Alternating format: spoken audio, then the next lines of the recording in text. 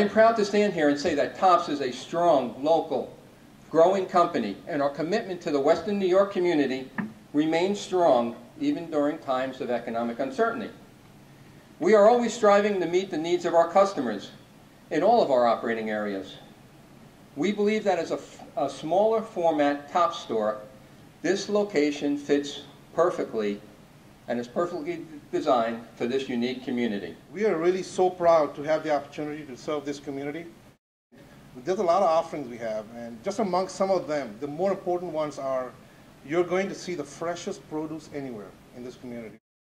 Full service butcher's block and seafood. I mean, that's a fantastic offering we have here.